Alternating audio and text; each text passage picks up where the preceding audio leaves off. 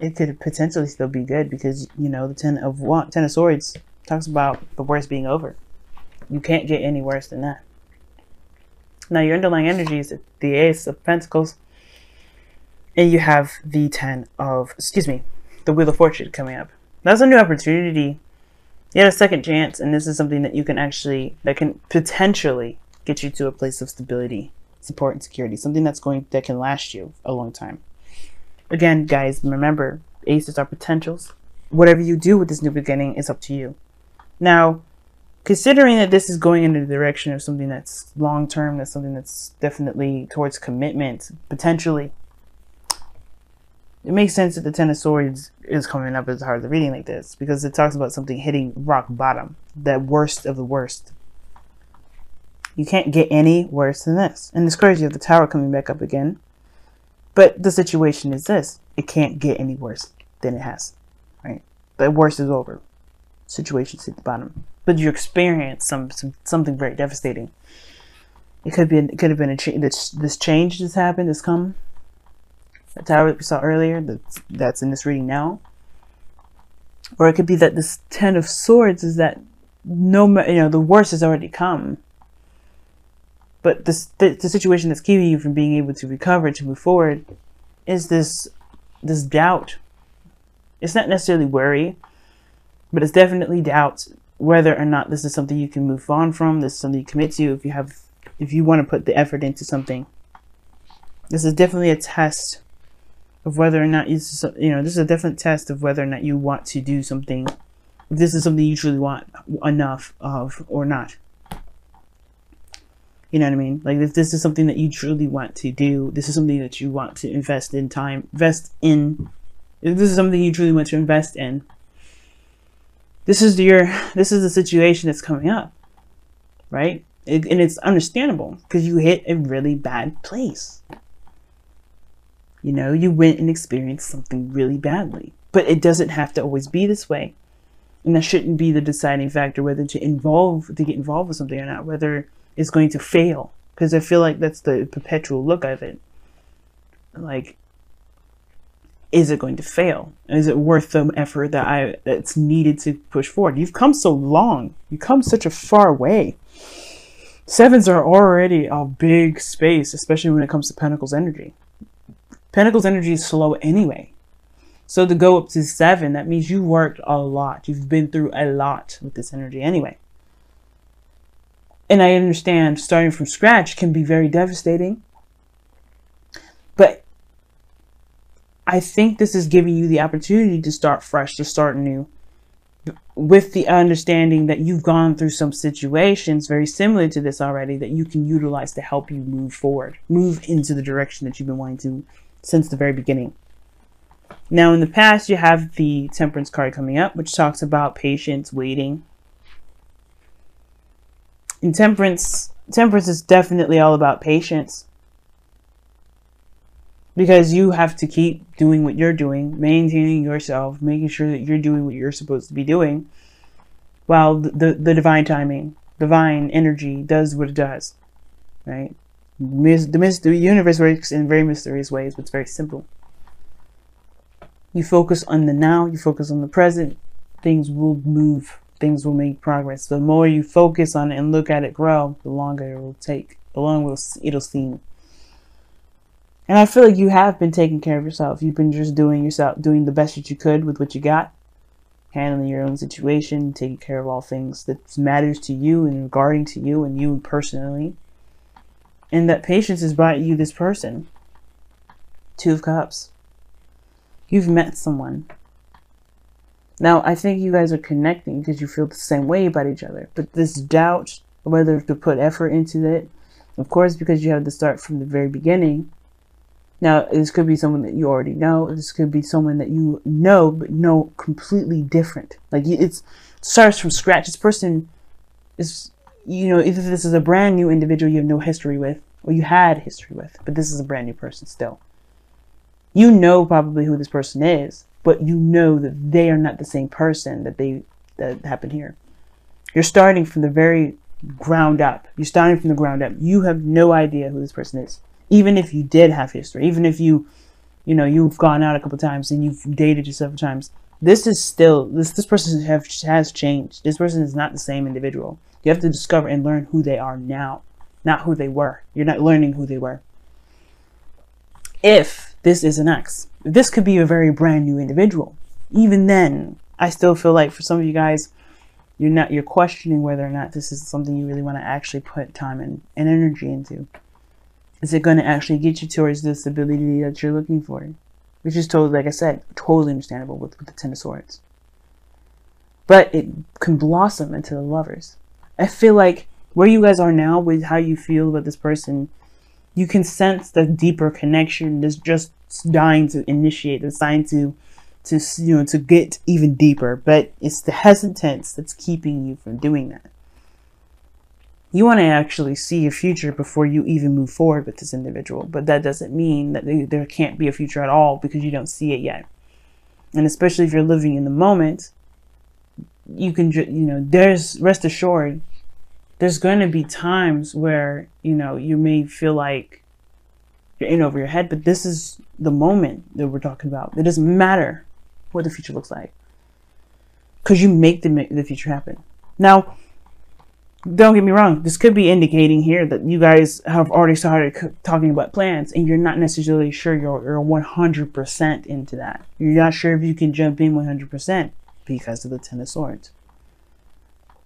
Because you've gone through something terrible.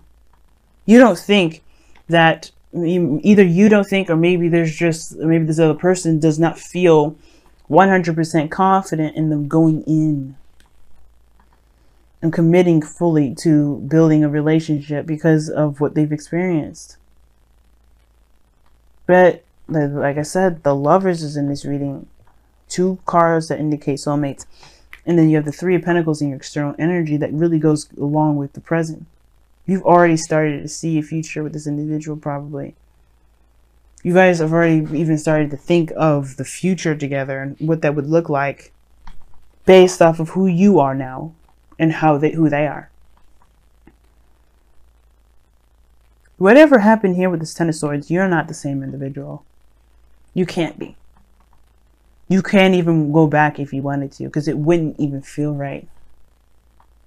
So it makes sense to see this opportunity as something that you may not want to jump into because the old you's ways of doing things is kind of creeping up. But that's why the tower is your goal and vision and your advice the time is now to change to do things that are differently or to do things differently rather why do i say that? Because you're not the same person that's going into a relationship. You have it had experience with this in the past. Some of it may not have gone very well obviously with the ten of swords here. But you do have more experience. You have changed quite a bit. But you more so than anything, you have more knowledge and awareness about yourself, about relationships to make for yourself, relationships for yourself, not relationships in general, but relationships for yourself to make a relationship work for you. That's why I see the Ten of Cups here is like this is a happily ever after, emotional success, emotional happiness, harmony, balance. I don't see this as thing as something bad. I see this as something really nice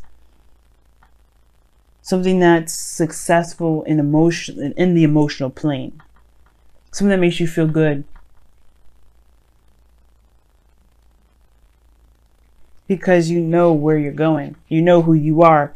You're very much you're much you're very much aware of what's changed. What you can't go back to. What's gone it's gone. But that doesn't mean that the future is is increatable is uncreatable or you can't create the future.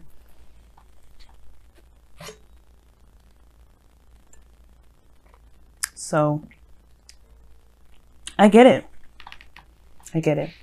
But you've got something beautiful that can potentially work out for you. It's up to you, of course, to make this opportunity to take take action now or to let it fly. It's up to you. But this Ten of Cups in your future with the lovers, that's a beautiful combination. That's a beautiful pairing. That reaps of success, that reaps of happiness, emotional happiness. And you might find that it was worth the effort to go through it. Or, you know, it was worth the effort to reject it.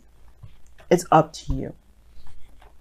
But I'm still gonna pull you guys romance angels cards for the next couple weeks, considering that you guys have two soulmates cards anyway.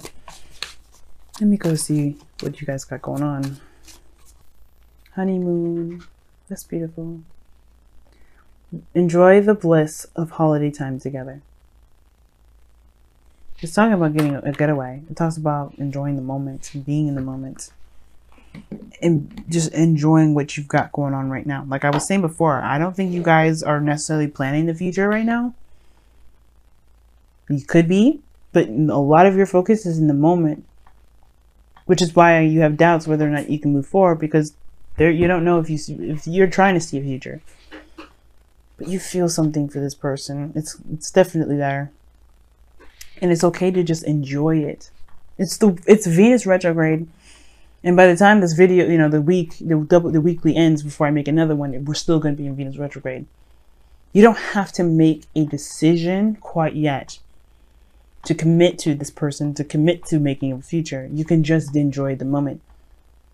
But don't let this doubt keep you make you know make you know don't make, let this ten of swords make the decisions for you. That's pretty much what I feel like this reading is trying to say.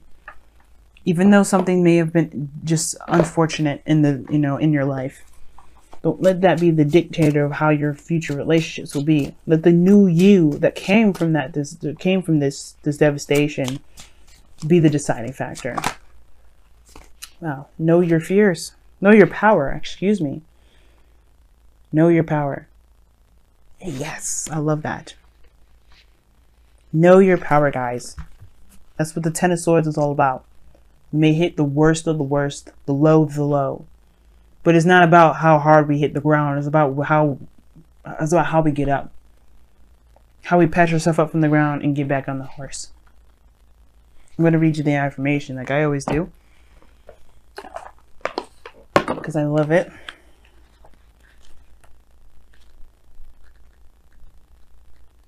All right. Know your power, guys. You have choice in all things. Your power is born of that of freedom or born of um, out of that freedom to choose, but with that freedom comes the burden of responsibility. To know your power, you must accept responsibility for your part in all your experience, even when all you all you allow another to impose their choice or will upon you. So let me pretty much that means like, you know, no matter even though the situation that was devastating, understand that your power, your your your your part in, in this energy being the way it was is still a reflection of your of power in that situation. You get what I'm saying? Like, like, like what it says here it says, um, uh, to know your power, you must accept responsibility for your part in all you experience, even when you allow another to impose their choice or will upon you. And sometimes it's a little bit hard to take and a little bit harsh, especially for those of you that have been victimized in ways that, you know, definitely imposing force. And that's something that you can't truly control. But it's to understand the full facet of your power, not to blame you. This is not about blame. This is not about any of this. Yes, it's talking about taking accountability, but only to recognize your power, never to blame, never to make you feel like, oh, you should have let, you should never let this happen to you or you should have known better. No, this is about you being aware of how strong and powerful you actually are, Taurus. You have the power to choose if you wear a saddle or a bridle, and if another will ride upon your back. Own your power, know it, and see it in all of your choices and actions. And that's what this is all about. The Seven of Pentacles. Uh, do you the, the doubt of whether or not it's worth the effort or the time. That's for you to decide but you have the control you have the power you have everything that you need to make this potential a reality. It's a pentacle for a reason. Pentacles are reality. You have the opportunity to make this a reality but you have to take it that far. You have to make this change. You have to take that action